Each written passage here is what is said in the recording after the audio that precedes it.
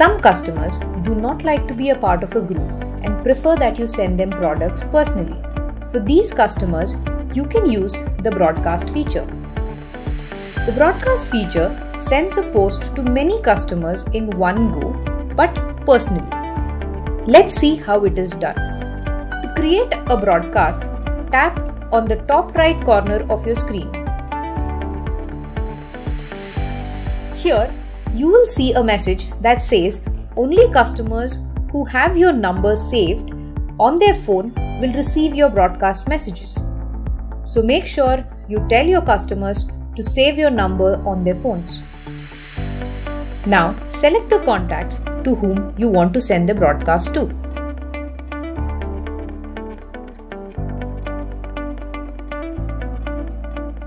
Your broadcast list has been created and saved. Please note this is not a group but a list. You can create a broadcast list by customer interests. Now, to share products through WhatsApp broadcast, go to the Meesho app.